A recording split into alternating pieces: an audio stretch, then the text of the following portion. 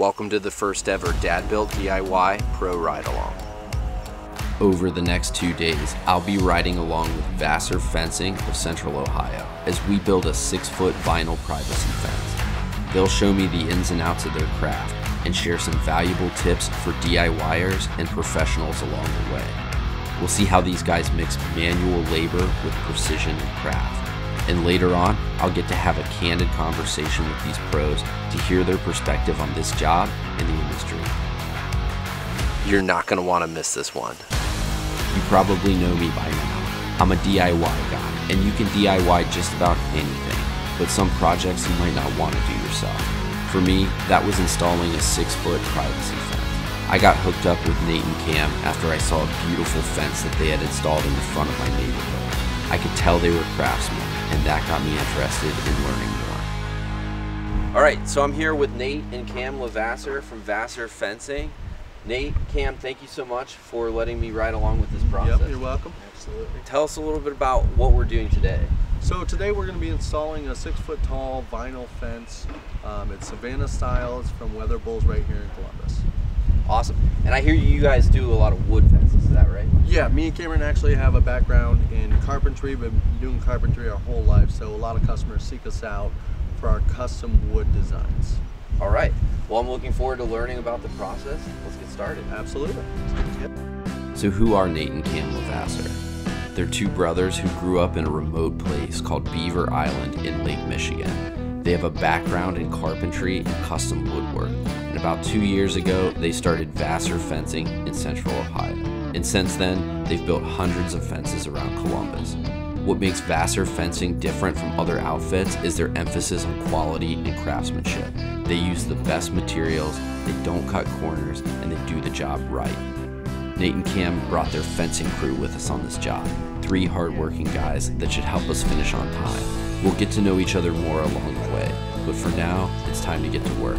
And our first day was all about manual labor. Day one was hard work. We needed to dig all our holes and get the posts set in concrete so that they could start curing and be ready for the next day's install. It's critical to the process that we get this done today if we want to stay on schedule. So we started running our string lines. This process would define where our post holes need to be dug. Of course, there were no shortage of obstacles to overcome on day one, and they started right away. See those utility boxes? They're not on this lot, but the underground lines run right down the center of these two property lines.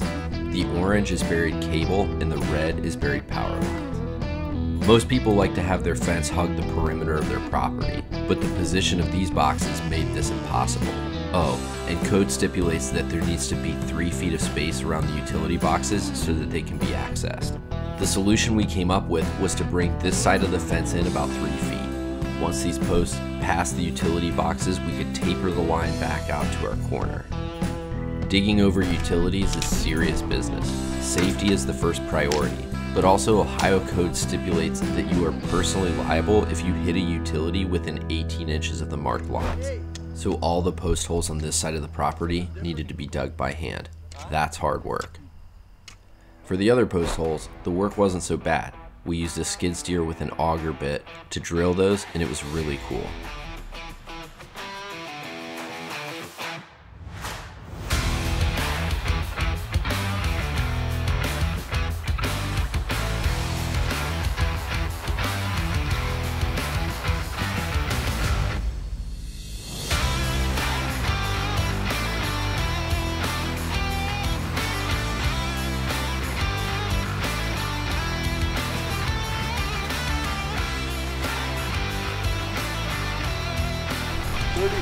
Thirty-five point seven five. I learned something at this step. It has to do with how you space your posts. Here's Nate talking about how Vasseur might do this different from some other companies. We do it, and I think other people don't do it because it's more work to do it this way. We can only achieve a certain amount of panels out of um, the the width of the rails on our on our fence. So we just make every single panel the same width. When you could run eight foot panels all the way down until you have um, a panel to, right, to fit because it looks better. Um, symmetry always looks better, but that involves ripping and cutting pieces for every single panel right. as opposed to wait until the end and only making one. But it's perfect symmetry. Yeah. 43.3. I wanted to use the auger, but my talents were needed elsewhere for something a little more manual. I'll say Nate wouldn't let me use the auger, so maybe do this instead.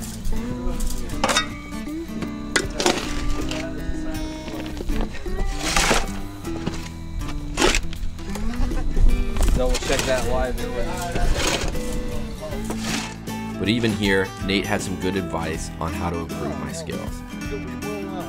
You want to watch how you open your posthole diggers because see when you open it with this arm, it's going to activate this tricep muscle, Okay. and this arm, it's going to activate that one. So if you're doing it with the same one every time. If you're doing it with the same one every time, like I was, yeah. see that? Oh my god. Look at it doesn't exist. You got like a there. trucker's tricep there. I'm one arm. I'm one arm. So far, day one was all about solving problems and scratching around in the dirt, and there was a lot of dirt. So one thing you need to consider if you're gonna do this yourself is dirt removal. Check out all this dirt that we pulled out of these holes just today. So if you're doing it on your own, make sure you have a plan to get rid of all this dirt. One thing I appreciated about Nate and Cam's process, they always work a couple of steps ahead. While we were finishing up hauling away the dirt, Cam was bringing in pallets of materials for the next step. Our holes were dug and we needed to start setting our posts, but that's when we ran into another problem. Remember how we moved the fence line to get around those underground utilities? Well, as it turns out, we set it right on top of a main line for an irrigation system. And that line was running right through the center of our holes. It was an issue and we weren't sure what to do. So this irrigation line running through the center of our hole is a big problem. If we're not able to figure this out, we're not going to be able to set our posts in the time that we need. I'm going to make a call to the irrigation company that installed this system and see what they recommend. We took a beat while I called the irrigation company, and they talked me through the process of cutting the main lines so that they could be repaired and rerouted later. We cut the lines and taped over the cut edges so no debris would get into them, and we started setting posts. If you think that dirt is heavy, wait till you start lugging around 80 pound bags of concrete. A fence job like this requires a lot of concrete. Look at how much concrete we're using to set these posts. And this is where I learned something else about doing this job right. You need a bag of dry concrete to get the post initially set and leveled, but after that, posts should be set in wet concrete. Here's Cam talking about why that is. I'm using my foot to like use as a counterweight at the bottom of the post so that way I'm not trying to like look at the line and hold it like this. So you get it like just how you want it and then pour the bag in. Yeah, I'm, I'm adding a lot of downforce so that way the post doesn't move around. Uh, Once you have the post set the way you want it, then you can take the critical step of adding in the wet concrete.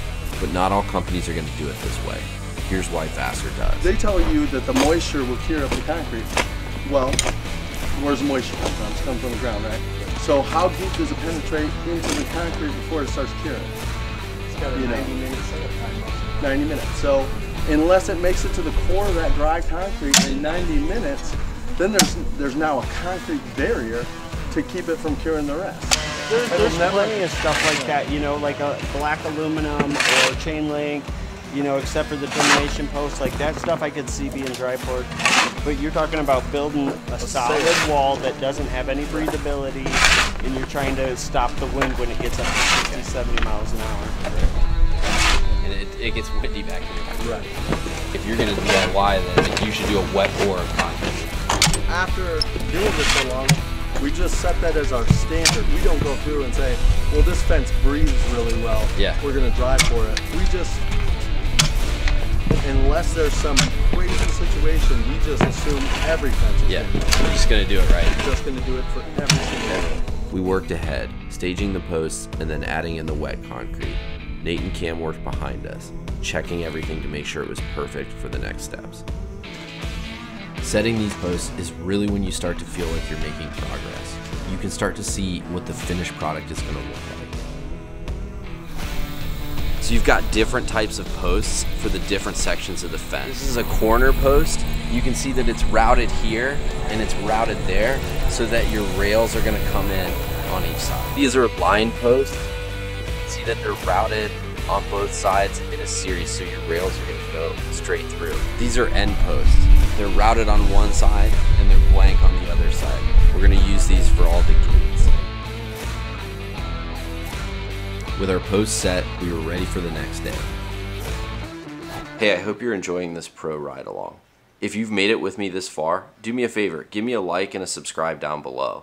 I hope to keep making really cool DIY videos, and I would love it if you would join the crew. Be sure to catch my conversation with Nate and Cam after the big reveal. Oh, one more thing. If you're a pro in the Ohio area and you'd like to show a DIY guy a thing or two, hit me up. I'm looking to do more of these ride alongs. All right, let's get back to the project. Welcome back. We're about to start day two of our DIY Pro ride along, and I'm really excited about what's in store. It's a lot colder today than it was yesterday, so I think my first order of business is going to be to start a fire to keep the crew warm. We want to finish this fence today, so to do that, we need to get all of our rails, pickets, and gates hung. Some of that work goes quick, and some of it not so much. Nate set up his miter saw for the cross cuts, and Cam would work the table saw for the rips. I like how these guys work a few steps ahead.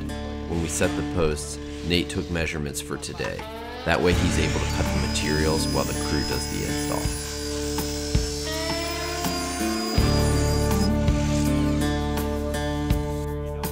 Cam showed me some of the specialty tools they use on a job like this. What's this tool you're using here?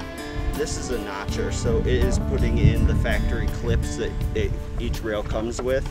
Okay. But since we cut our own, we put new ones into the vinyl to lock it in so the rails can't slip out. So when we're putting in these rails, like on a slope where it's coming downhill, we'll put our own notches facing uphill so that way when the resistance is pulling on the panel, it's gonna have a lot harder time coming out. The bottom will lock in first, and then the tops will just lock in one side. And then that way, So you can get the pickets when we get to our last picket, yeah, once you start getting into this area right here, you're gonna have to start leaning the top rail out to be able to get them the rest of the way in there. The crew locked in the bottom rails and staged the pickets at the same time. While day one was the hardest of the physical labor, day two was all about precision and craft. It's these fine details that separate out the professional work. So Cam, you're just gonna open that hole up more so that it fits with the angle. Yes, because as this grows, vertical is gonna stay vertical, but this length is gonna grow. So I have to open this up to accommodate the new length that we have on such a steep angle.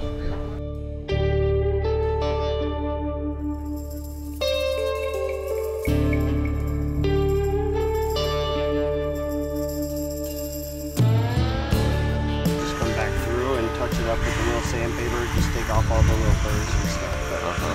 cleans up pretty quick. Before too long, all of those holes in the ground started to look like a fence.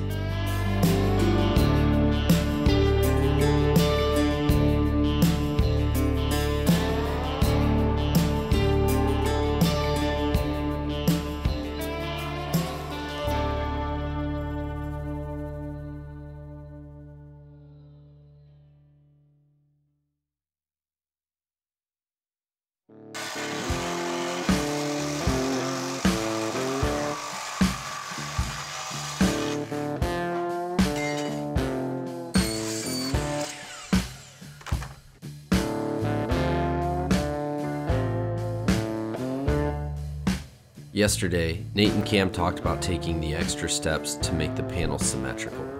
Now today, I see what that entails. Cutting each rail and ripping pickets for every section of the fence. It was all coming together quickly. After all the rails and pickets go in, it's going to be time to build and attach the three gates. Taking a break for lunch gave us an opportunity to get to know each other better. Nate and Cam talked more about their background in the skilled trades and what it was like to grow up in one of the most remote places in the continental US. The guys from the crew are Venezuelan, and they talked about the difference between construction work here and back home. No surprise, they said back home was so much harder because everything was made out of concrete. We saw some deer out back in the field. There's really good camaraderie in a small crew, and it was cool to be a part of it, but now it was time to get back to work. We needed to hang three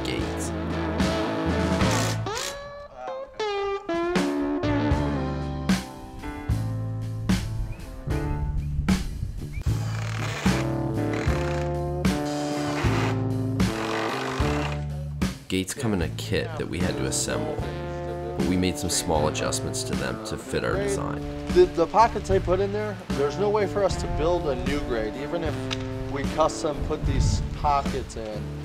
As soon as that angle changes, it's gonna bottom these out to where they can't be, it has to go in square, you know? So there's minimal adjustment we can make. We made this one wider.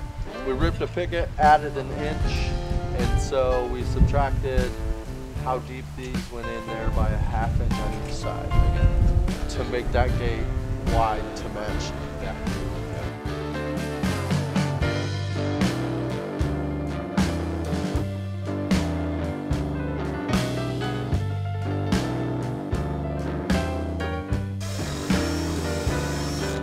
While Nate built the gates, Cam installed the hardware.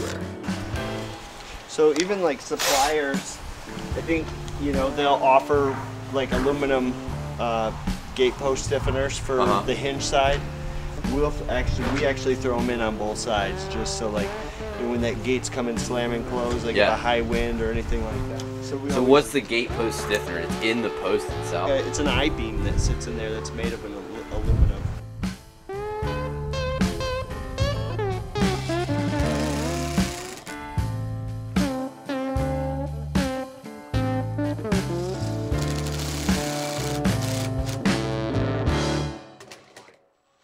Now it was time to hang the gates.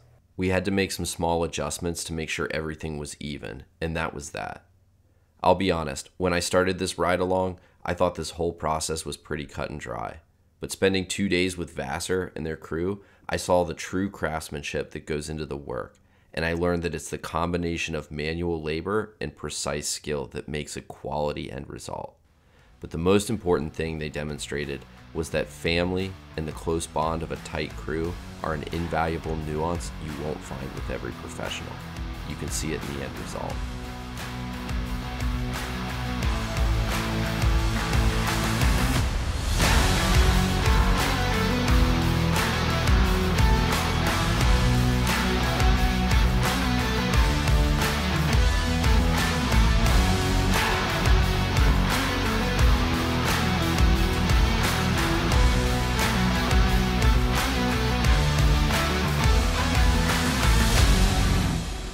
This is all going in there. Say you're looking for a yeah.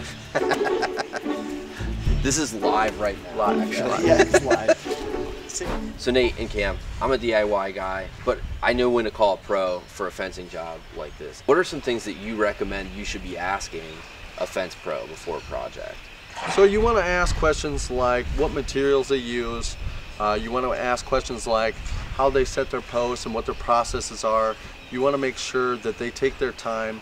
Um, there's a lot of times you can find a, a cheaper guy to do the project, but it's because he's cutting out some of the processes that really draw in the quality of the final product. Um, so things like do they string line and level all their posts? Are the posts being set in wet or dry concrete? I know we use some dry concrete at the bottom, but that's just another step we take um, to add a little more quality and aesthetically pleasing um, features to our fence. But then we add the wet concrete in there uh, for the longevity. How important is it to choose the right materials for a project? Um, materials are huge. Like we use Weatherables right here, local to Columbus, um, and we refuse to use the bracket system. I know um, a lot of companies sell it, and in some designs, you can really only get the bracket system. But um, for a standard six foot tall privacy fence like this, um, the solid panel, you're going to want these uh, slip style uh, rails instead of the brackets. Okay. So that's huge. Great. What are some other things you need to consider when starting a fencing project? You want to look at the gr- type of landscape in your grade and how saturated the soil is. One thing people don't take into consideration is like, especially with vinyl, you know, they do sell nine foot posts and eight foot posts. They sell bracket style systems. We try to stay away from the bracket style system and go with the slip rail. It locks in and we can put screws into the top to secure that even better. Um, if you have like saturated soil and you're trying to set an eight foot post, you're going to be 24 inches in the ground. That's something you might want to stay away from. If you have a high water table, we set concrete at the bottom to bring it up to grade for laying a clean line across the fence before we concrete it in. And those are all things like a DIY guy like myself, like I, I wouldn't even think about that. What you just said about a high water table. Right. Yeah. Why should someone call a pro to do a fencing job? And, and the thing about calling a pro is something like this, you know, it looks basic and straightforward, but we're able to kind of see 12 steps ahead all the time just because we've done it so much. We have the time, and this is all we do really. So when we're going out here setting posts, we think about you know what what's going to happen at that corner down there or mm-hmm. along the fence line in the middle right there we have this situation and we can see that stuff and adjust before we start assembling because we set all our posts first and we can make those adjustments where a normal DIY guy might set all his posts, start assembling panels, and get to the point where there'd be conflict, and then the entire project could go askew because you might have to take back, you know, three panels in order to make up for whatever situation you ran into right there. So knowing those 12 steps is going to be so huge, and that's a lot of projects. I mean, um, it's all a learning process. So we've just been doing it long enough to kind of cut some of those, uh, those Sure. hiccups out of the Sure. What obstacles do you typically see on a fencing job? I know, like even on this project, there were a, a number of hurdles, obstacles that we had to get around. Right, uh, Cam, you were showing me how to, you know, cut into those posts to make sure that you can get around an angle, or over there where we had to like widen out the space. Like, how common is that in a project that you guys are doing? Like, how many of those obstacles are you typically seeing? I'm glad that's something that actually came up on this. It's not something we have to do every time. Um, in a couple of the in the instance by the gate, um, the grade was steeper than what the panel typically allows, so we had to adjust the post there. Um, that's not something we have to do very often. And then we also got a transition over here where we were using line posts. as a DIY guy, you wouldn't know what you'd have to do. You could you could get your posts set into the right places and things like that. But when we were digging our holes, we knew that we had to make adjustments in these spots and we had to cut and we had we so when we were digging the holes we knew what tools we needed we knew what circumstances we were going to run into we knew that we would have to cut those notches bigger in order to accept the rails so then we could figure if our materials would work there too on some of our grade changes and stuff before we even got, got there Yeah. How important are efficiency and process?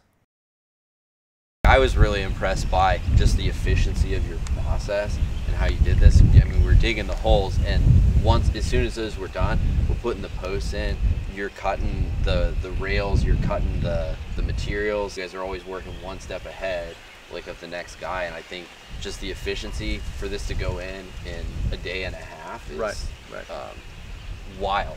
you know, by, Yeah. by DIY standards. it's a it's a it, there's a lot of work and we wouldn't be here right now doing this if we couldn't be as efficient as we were you know our guys are great at staying one step ahead of us and then we stay one step ahead of the guys so there's never really any dead time you know as a diy guy i'm sure you're going to get out here and there's going to be times where you're scratching your head wondering what the best next step is you know, is where we've been doing this long enough to where we know the next step and we can always be ahead of each other.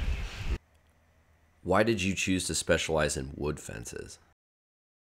if you're looking to build a fence, you've got different options, different materials that you could be using. I know we did a vinyl here that had to do with, you know, I had uh, just a couple choices and vinyl was the best one uh, for me. But let's say it didn't have those restrictions. I could choose a wood fence. I could choose a vinyl fence.